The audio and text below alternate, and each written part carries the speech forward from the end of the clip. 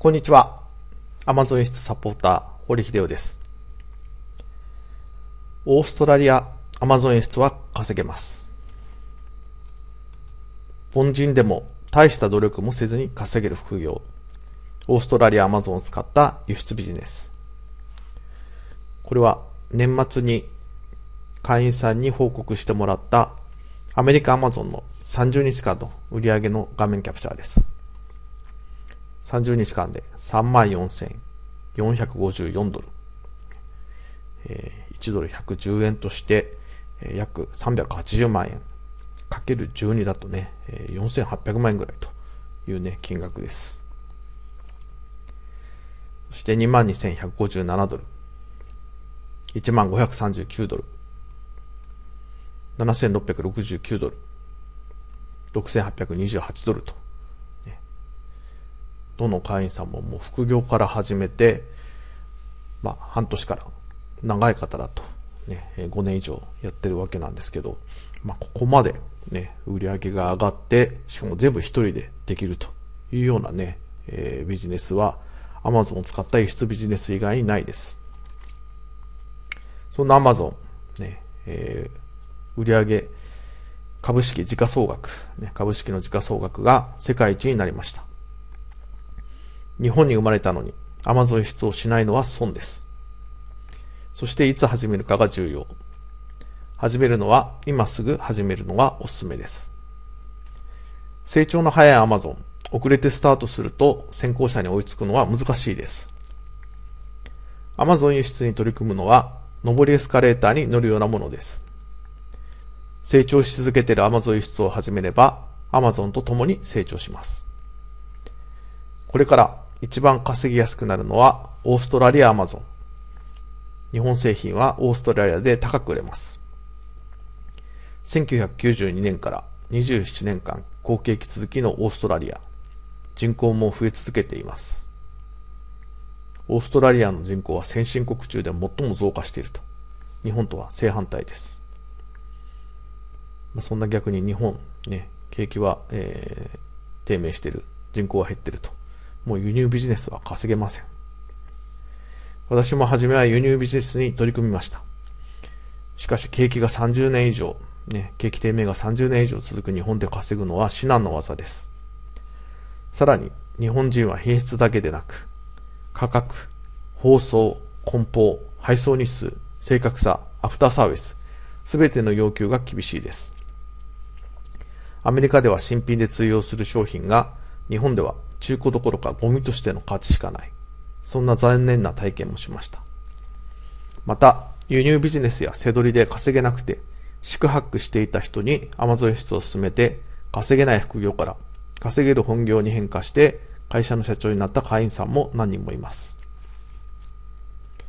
世界最高の仕入れ場所。それは日本。良いものでも安く売らないといけない日本は稼ぎにくい。しかし逆に言うと仕入れ場所としては日本は最高です。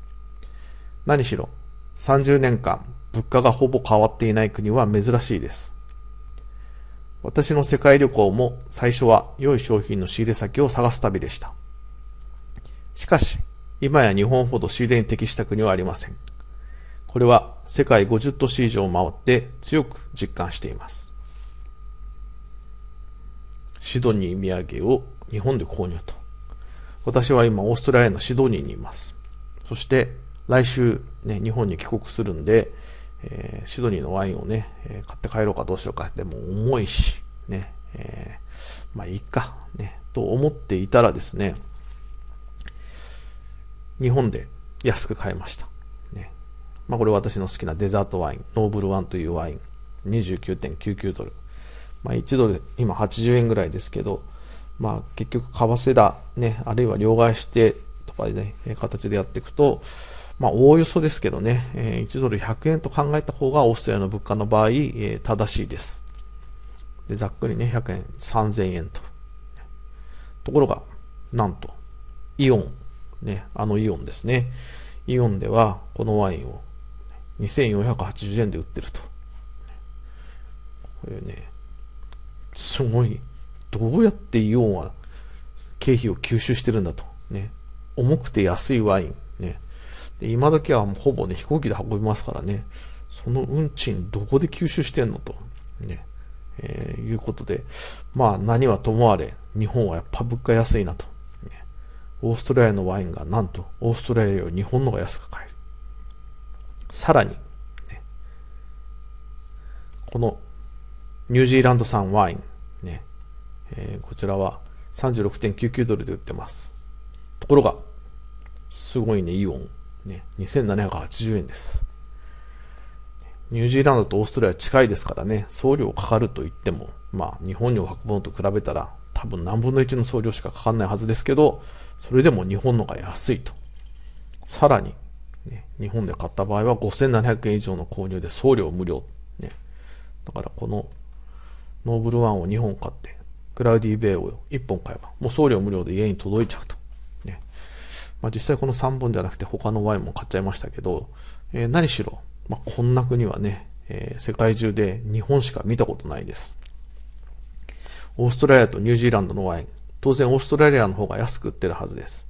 で、さっきのね、えー、ネットで比較した店、ダンマーフィーという店なんですけど、まあ、オーストラリアのお酒の安売り店なんでね、これ決して高い店じゃなくて、免税店の、まあ、多分2割引きぐらい、この安いクラスのワインだとね。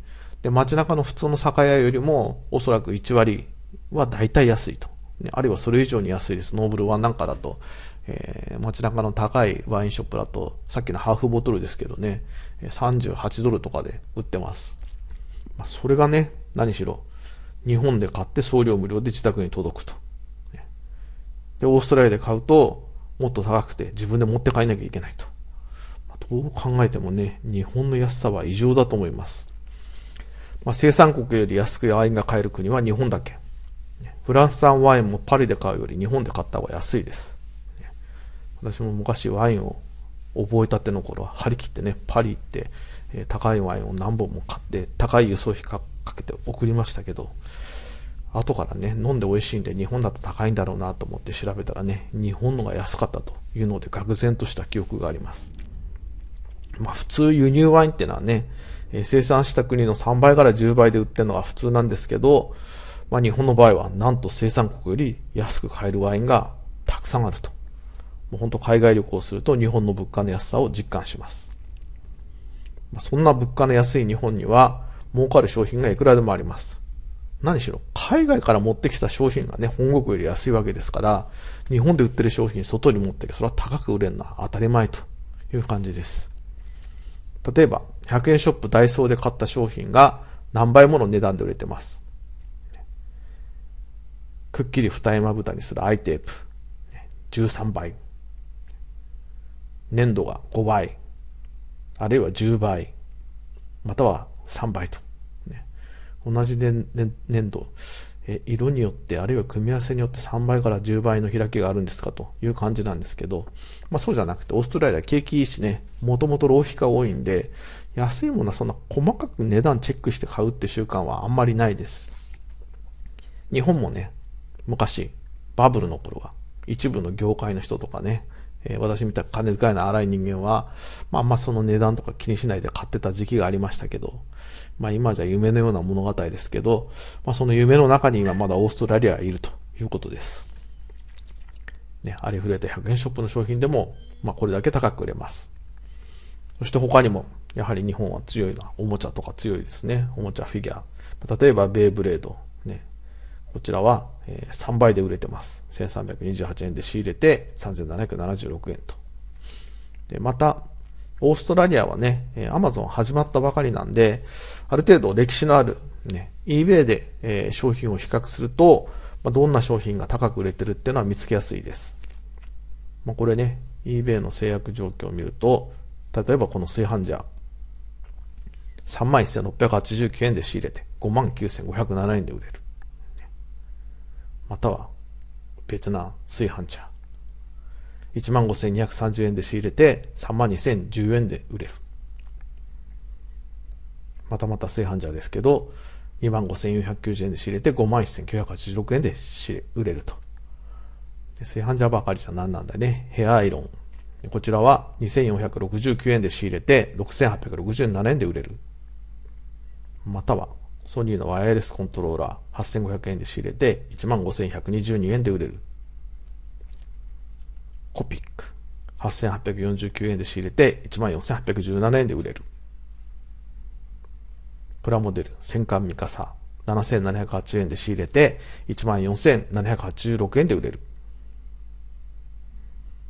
タミヤのプラモデルパーツ、ね、1600円で仕入れて9069円で売れる。5.7倍ですね。こういうね、ニッチなもんってのは結構差額が取れるのは多いです。それから家庭用プラネタリウムのホームスター。8335円で仕入れて14,181円で売れる。またお菓子、食品の販売も今開始されてます。ジャガーポックル。ね、5990円で仕入れて11,789円で売れる。あるいはジャパニーズウイスキーも高いですよね。4320円で仕入れて12,359円で売れると。このように高く売れる日本商品はいくらでもあります。そして価格差があるだけでなく、売上の規模も実は大きいです。1日2000億円の売り上げと。何そのすごい数字という感じなんですけど、オーストラリア人の購買力は日本人が想像するよりはるかに大きいです。12月26日、ボクシングで明けのバーゲンの売り上げ、1日の売り上げが2000億円です。これは日本で一番大きなデパート、三越伊勢丹の2ヶ月分の売り上げを1日で上げるということです。そして、オーストラリアアマゾンは3年後の2022年には、オーストラリア第6位の小売業者になると予想されています。その売り上げは7兆8000億円。日本アマゾンの7倍の売り上げです。オーストラリアアマゾン輸出をやってみようと思ってるなら、今すぐ始めた方がいいです。今すぐにオーストラリアアマゾン輸出を始めるべき3つの理由。1つ、アマゾンは実績重視、新参者に厳しいシステムです。始めるのは早ければ早いほどいいです。取引実績がたくさんある出品者とバッティングした場合は、新規出品者は売れない仕組みになっています。2つ、アメリカアマゾンでは販売できなくなった商品、アメリカアマゾンでは儲からなくなった商品、オーストラリアアマゾンなら販売できます。儲かります。3つ。初めの頃は間違いにも寛大、多めに見てもらえます。商品間違えて売っちゃった。カタログ紛らわしかったんで、2つセットだと思って、ね、納品したら、実は6個セットだったとかね、まあ、そういうね、えー、大丈夫かいなというようなミスがありますけど、これ今ね、日本とかアメリカでやったら、えー、クレームになりますし、まあそんな間抜けはいらんということでね、えー、アカウントがサスペンドされて退場させられますけど、オーストラリアは何しろ始まったばかりで出品者が少ないんでね、出品者大事にされてますんで、ね、今後気をつけるように分かりましたぐらいで済んじゃいます。今からオーストラリアアマゾン輸出を始めれば、慣れるに従ってどんどん売れやすくなっていきます。